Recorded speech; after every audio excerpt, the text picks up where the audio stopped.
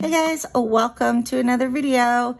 It is Lorrie and Lorrie's Life. I'm here today to do a winner video for, I had a BoxyCharm drop shop video and this um, video had a pop-up video at the end.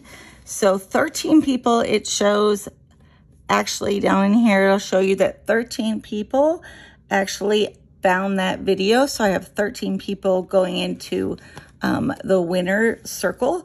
And today I have these nails. And we have two Spongelles, which here is one.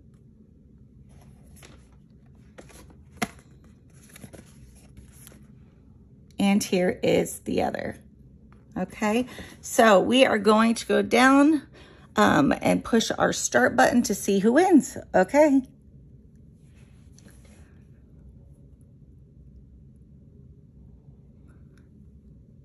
You can tell me who the winner is. Oh, it's Triplet Girl 2.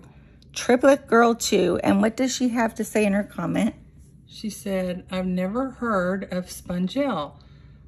That blush is lovely. I used it as many natural products as I can. My toothpaste is a tablet.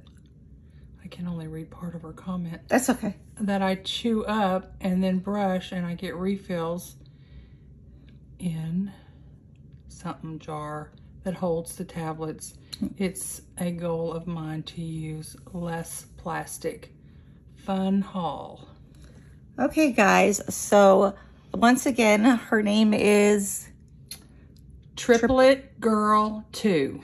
Okay, and so Triplet Girl 2, you need to contact me within 48 hours, either by my email address or by my Instagram uh, DM messenger.